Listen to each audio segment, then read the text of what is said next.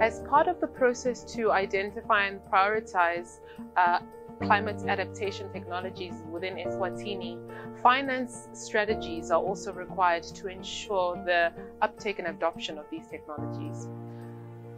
Work is currently underway to develop financing strategies for each of the prioritized technologies that have been identified.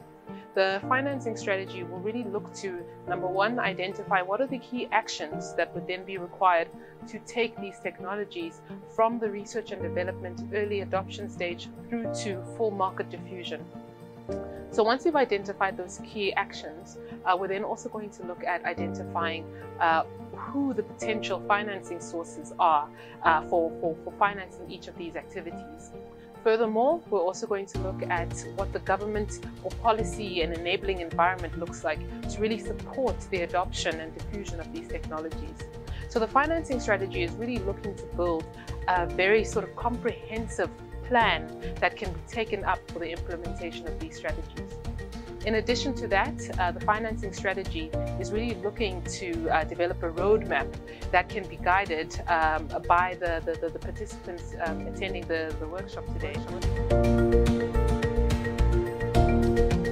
Today's uh, prioritization of water-related climate uh, technologies uh, coming from the private sector, uh, I was quite impressed at the range of technologies that are being proposed, uh, both hard and soft technologies, um, but also the, um, the manner in which those technologies are being viewed by the participants as to how they will help and improve uh, resilience.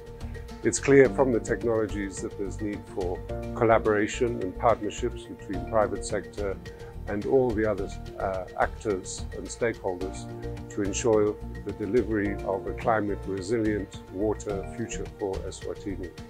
Given the challenges that have been identified, or rather gaps that have been outlined in financing for climate smart technologies for adaptation, these include those that can be used for better forecasting, um, as well as water use efficiency and um, creating a database for most of our climate data.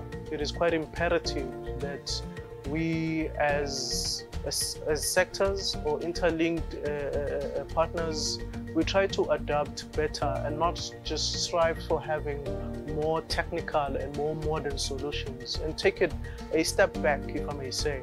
For instance, explore your type of uh, nature-based solutions that can be used uh, uh, in forecasting better.